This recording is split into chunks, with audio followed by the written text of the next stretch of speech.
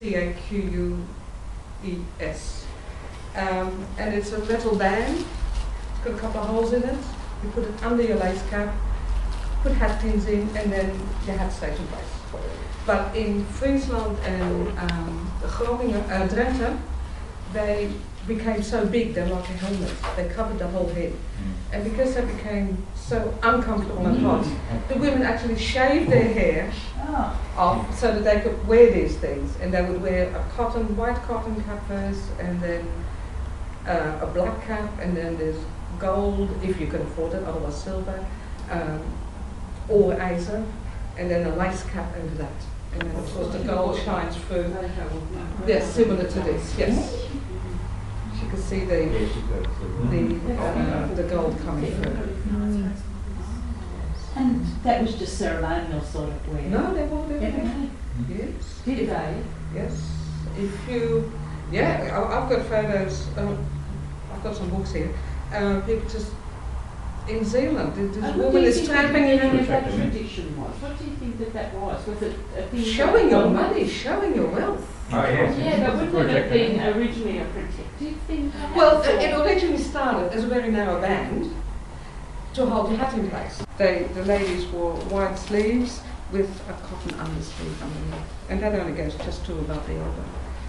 And It's like a glove, is it? Without the No, a hands. sleeve. No, it's, it's a sleeve, Just and it warm, protects okay. it, it protects the other sleeve from your, Okay. your body. It would be- in places like Zeeland.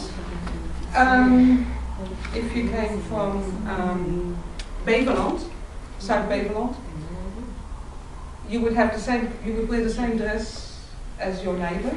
But if you were Catholic or Protestant, you hat would be different. one would have a square back, and the other one would have a big shell-shaped.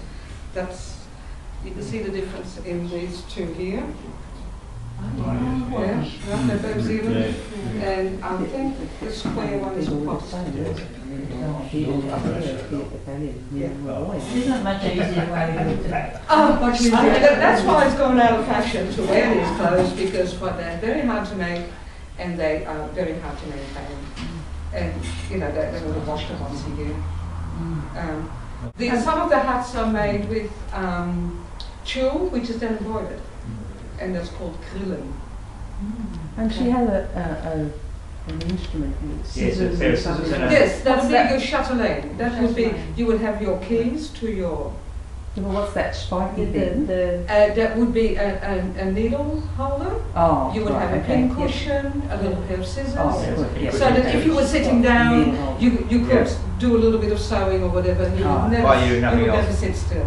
You got no, Probably. Would- The men would wear um, a key to their, you know, where, where all their um, prized possessions, possessions are, and um, to show that they were either married or how many children they had, whether they had sons and daughters and all that sort of thing. That would hang off them.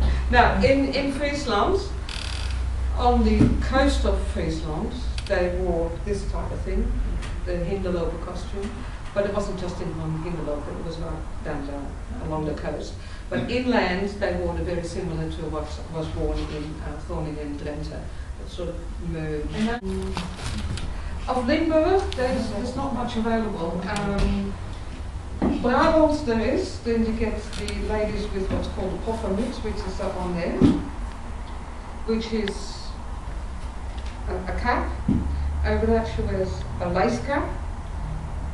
And over that she wears another contraption filled with flowers and lace and things and tail Oh, I've coming seen that in a wedding. Yes, yeah, and, and, and that's more from in Brabant, the eastern half of Brabant and the northern part of Limburg.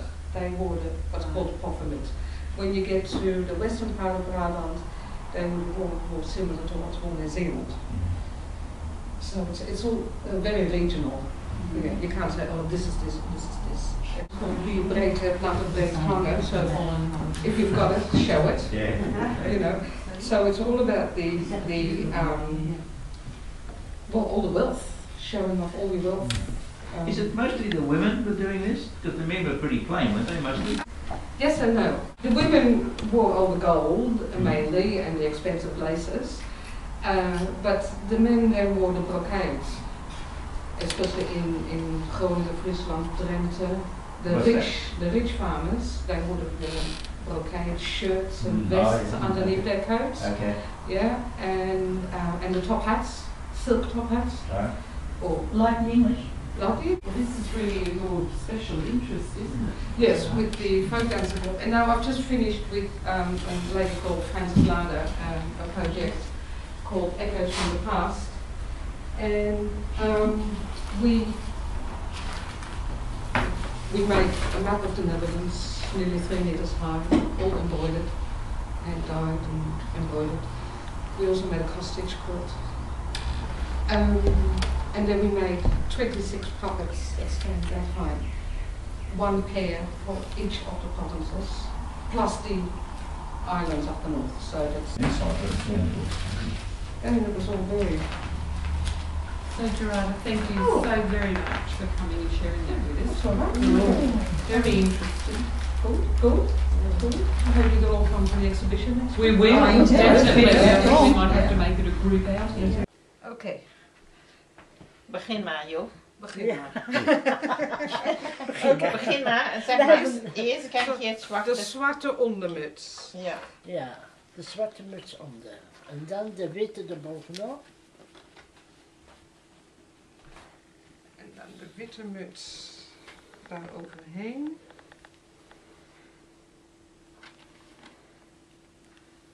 Kijk, die moeten vrij strak zitten. Ja, oké. En dan krijg je het oorijzer. Ja. Moet ik dat even vasthouden? En dan krijg je de kranten. Ja, denk ik.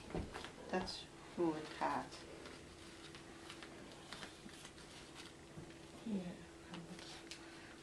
Even dat stukje kant, die komt dan hier tegenaan. Maar dan komt die zwarte muts er toch weer onderuit. Je moet een spaal speltje hebben. Dat, dat zetten we er wel onder. Hè? Dat, nee, maar, maar die, die, die muts is te klein. Ja, volgens mij wel. Ja. ja. Oké. Ja. Het, het past gewoon niet. Het past ik niet. zat te kijken en dacht, dat klopt niet. Maar voor de rest is het. De, Want van de is achterkant is wel goed. Maar die muts moet een beetje groter. Die, de, die, eh, Bovenkant. de- ja, Ja. dit moet. Maar niet breder, maar wel langer. Ja, ja, ja.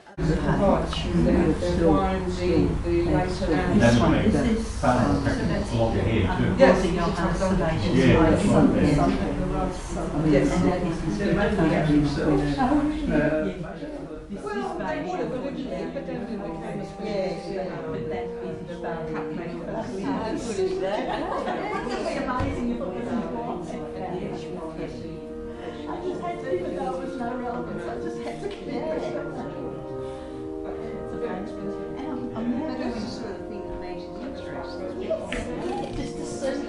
relative. Irrelevant.